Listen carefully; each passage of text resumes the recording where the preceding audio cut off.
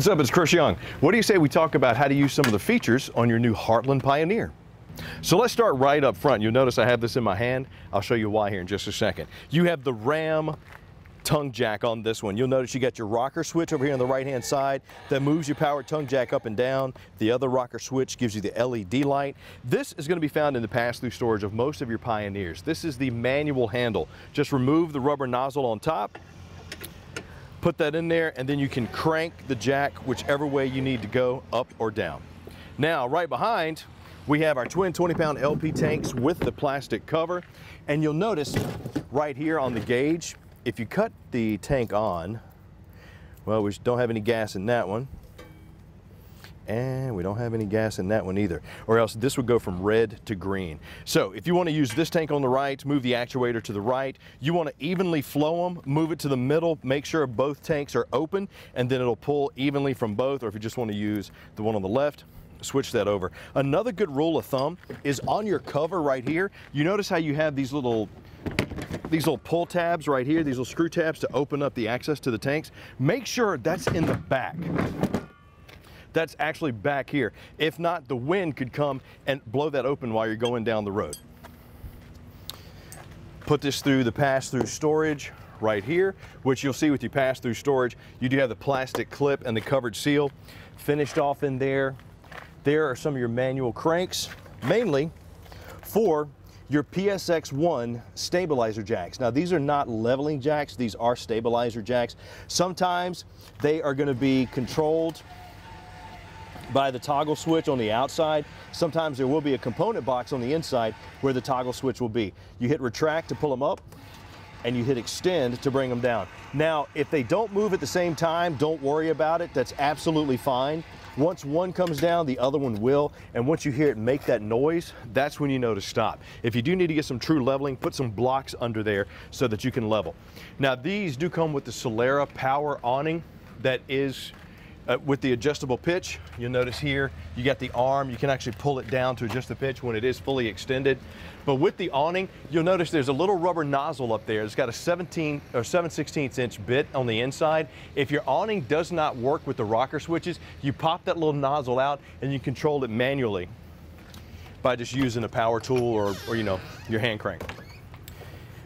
You got the solid steps leading into the pass-through on this one. Now, a lot of times with the steps, you'll see tabs that you can pull in or out. This one actually has a little switch that allows you to adjust where the legs go.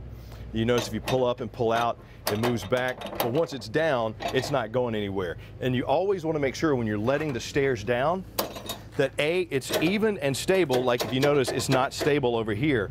And you also want this part to be flush, because when this is flush, that means we can shut the door like so. And if that's too high, you won't actually be able to shut the door. So just always try to get the steps as flush as possible. Come over here, you'll notice that we have our rear stabilizer jacks. Once again, we're gonna retract those a little bit and you'll see it does control both legs. Plus you have the support bars on this one as well. And there we go. You pretty much don't wanna go any further than that because these are once again not leveling. 4x4 sewer hose storage is where your sewer hose will go there. I do have a tailgate on this one, which does come from the manufacturer. You just remove the pin over here on this side, pull it out, and that's how you lay this down. Backup camera is set up on this one. And while I'm back here with the Pioneer with the toy hauler garage door, let me just talk a little bit about that. You'll notice that at the top we have those rubber stoppers there, which are gonna help when you bring the door down, you don't get the scratch and the door doesn't actually touch the surface of wherever your campground is. And you'll see these coils right here are what provide the suspension assist when lowering the door down.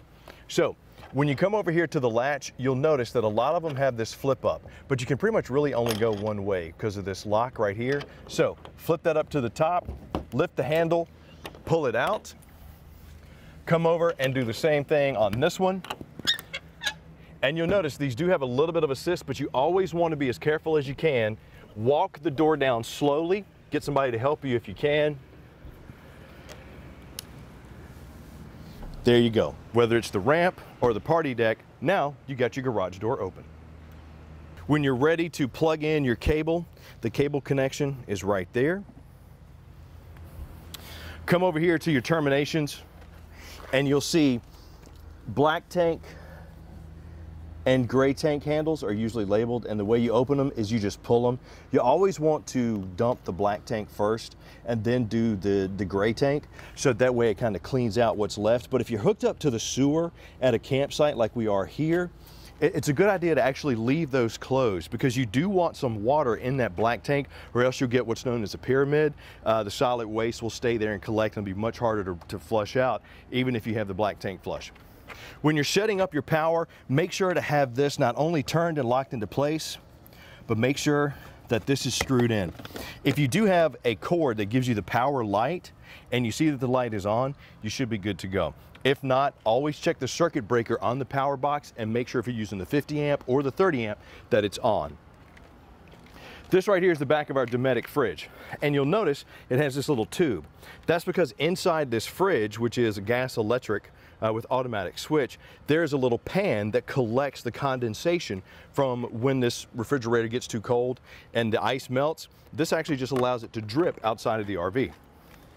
Back of your water heater right here, easily accessible by just releasing the little pull tab. And you'll notice to cut on the electric for your water heater, there's your switch right there. Some of the Pioneers will have the switch on the inside, so but there's your manual switch right there. Here's your igniter for your propane, your anode rod. So if you're gonna swap that out, just make sure that there's some water on the inside. And if you wanna check the pressure or release some of the pressure to make sure you can change things or for winterization, dewinterization, just pull that tab right there, it'll release the pressure. And these two buttons right here are your reset switch. So if you do need to reset your hot water heater, just push those both at the same time. Freshwater connection is there, city water connection is here, and black tank flush is right here. If you are going to use the black tank flush to clean out your tanks, just always make sure that that termination valve is open because if it's closed and you go to put water pressure in there, not gonna be a good day for anybody involved.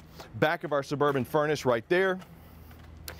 And last but not least, I wanted to show you with the stabilizer jacks, You'll notice that over here on the off-camp side, we do have a little hand crank. So this is the tool that's found in your storage compartment.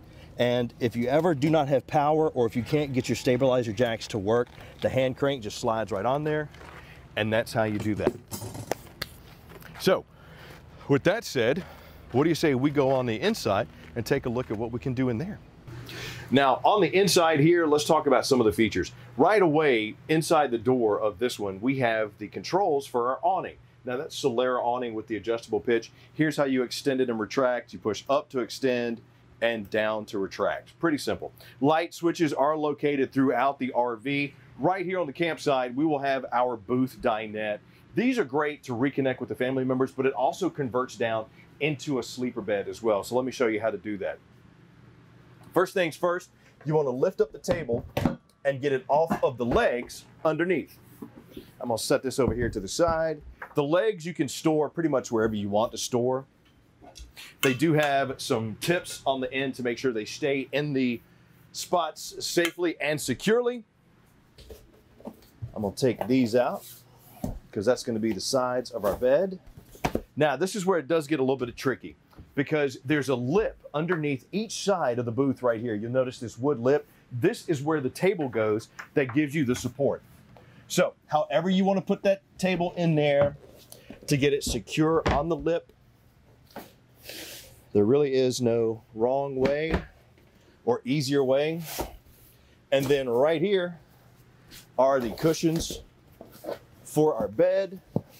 Let's push those in nice and snug. And there you go you got yourself a little sleeper. Great and convertible. Over here on the kitchen, you'll notice that we have our Greystone microwave right here. Obviously operates like a regular microwave. You have your hood for your range right here. The vent is on the outside of that. These do come with the Suburban furnace, or excuse me, these, the Suburban three burner cooktop. These are propane cooktops. You'll notice the grill style grate, high output on the front. And the way you operate these is you'll notice you have an igniter that tells you which way to turn. The arrow right here means you turn it this way. Do not turn it the other way.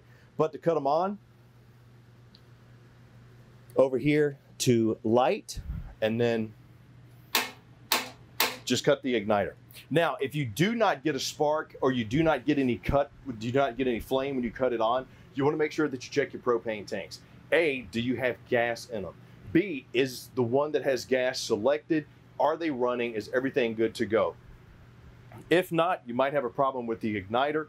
If that's the case, bring it into one of our service professionals. They'll help take care of it for you. Now, for the oven, like we have right here, this is the 17 inch Suburban oven. Same thing, cut it on to, you got to push and turn with these to hold the igniter there. So push and hold, and once again, if you do not get any flame, just check that gas setup. Over here we have the Dometic fridge freezer combo. Now this does run on both gas and electric. It also has the automatic switch.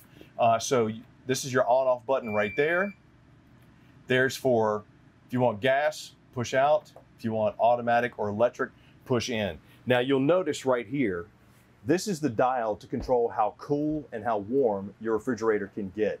Move this down, the colder it gets. These blades right here circulate the air. So when you're stacking your refrigerator, try not to block these because this is what causes these fridges to cool down. The lower you go, the cooler it's going to get. But once again, these fridges, they don't get things cold. They help keep things cold, cold.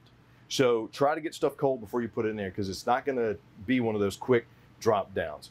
Uh, for your freezer, you know you'll notice that you got the space right there, and right here underneath my fans, my blades, is a drip pan. This drip pan leads to a little tube on the back. So when this defrosts and leaks down, it actually goes out of the back of the uh, fridge. Now, sometimes if you do keep this too cold, what can happen is this pan can freeze and all of a sudden you'll start getting water in the RV or in the floor. If that's the case, just come in, clean out the pan, or cut, cut it up so that the pan defrosts. And what's cool about these fridges is they have the chalkboard front, so you can have some fun with that as well. Right here is our circuit breaker box. Now, what they've done with some of the circuit breakers these days, especially on, on the newer RVs, they will have a little LED light. So if it's red, that means that that circuit breaker is bad and you need to replace it. Coming on into the bathroom, we have this Dometic plastic bowl with the foot flush on this one.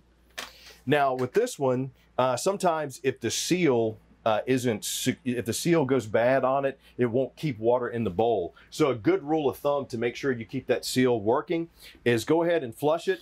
And while it's flushing, take some Vaseline or some grease and get around the bottom of that black rubber seal. And what that'll do is that'll help make that stopper stay in place and keep water in the bowl. Now, our control panel for this one is located right in here inside the bathroom. You'll notice we have our water pump which you won't need to use if you're hooked up on city water. You only need to use the water pump if you're using the fresh. And you do have a six gallon water heater bypass on this one that runs on either gas or electric. Now, when you cut on the gas, that automatically cuts on the igniter for the propane heater for your water heater. The electric obviously just runs off of regular power. But if you're going to do back-to-back -back showers and you need quick recovery for your hot water, you can actually cut both of these on at the same time and it'll double heat the water for you.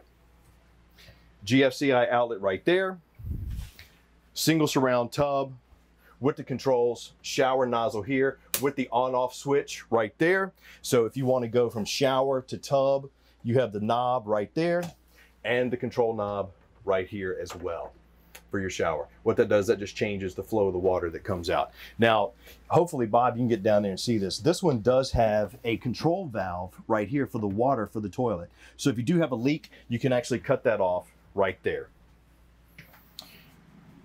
The bunk model, you'll see your bunks right there. Some of them have storage underneath, which you will be noticed by the little pull hole right here. Now, our entertainment centers, sometimes you have the linear, sometimes you have the IRV technologies. They pretty much all work the same way. If you notice, this one is unpaired which means you can pair this up with your cell phone. It is near field, it is Bluetooth. All you do is you cut on your Bluetooth on your cell phone, like we have right here, and let's see if we can find it. And there it is right there. So you see the Linear Series app, the LS app right there. You hit that, And what it'll do is it'll try to pair with you, and then you can control the entertainment from your cell phone or from right here. You also have the Bluetooth, the HDMI, the auxiliary ports, and it is dual zone, which means you can play the music both inside and out. Here's your HDMI cable for your TV to plug that in. You got your mount right here, your satellite or cable connection, and your 110. Now, for your air conditioning controls, this one has a 13.5 BTU AC and a 30,000 BTU furnace, which is going to be pretty standard. You're going to see the controls right here. Now, if you do not have shore power hooked up or your battery disconnect is off, this might not work, which means you might not get AC. And right here behind us is an example of the Mach 3 air conditioner with quick cool dump. Now this is ducted, but if you're in here and it's super hot, you want to get some quick cool, open that up and you'll feel the breeze coming in. Close them both off and now we're coming through the ducts in the roof of the RV. Now these RVs do have pretty thin walls, so if it's 90 degrees outside and you got this set to 67 here or 68, a good rule of thumb is do not leave it on auto because the high fan is better. You leave it on auto, it's going to cut off, cut on, cut off, cut on, which could make the AC freeze up on you. And that's not something that you want to deal with. If you go to cut on the AC and you're not getting any, check to make sure that you do have it on cool over here first. You are plugged into shore power. The battery disconnect is on. The circuit breaker is working. And if you check all of that and you still do not have AC, you want to bring it into one of our service specialists to have them help you get it fixed. One of the other convenience features here is a jackknife sofa. You'll notice this pretty standard in a lot of, of the Heartland Pioneers. Very simple to use. Just make sure to not hurt yourself when you're opening this up and pulling it back because with the jackknife sofa, it jackknifes out. You'll notice underneath, we have a little bit of storage, pretty standard, but just grab it from the bottom, push the top, fold down safely and securely, and there you have another sleeping area right there. Continue to make our way inside. You'll notice a lot of them have beds. You'll have TV and cable connections over there, which work the same way, TV backer locations. But these shades, if you'll notice, on a suspension string. Now, over time, these will wear out. So if they do, just take your finger and wrap it, wrap the cord back around the knob down here. Just be sure you do it on both sides, because what that'll do is that'll add tension to the shade and make them stay up as opposed to as soon as you push them up, they fall back down. And you want to make sure to do both sides because you don't want it going wonky and being all cockeyed on you. So hopefully that has helped you pick out some tips for your brand new Heartland Pioneer. Uh, hey, if at any time you need anything, our service folks are here to help you enjoy that your camping experience is the best that it absolutely can be.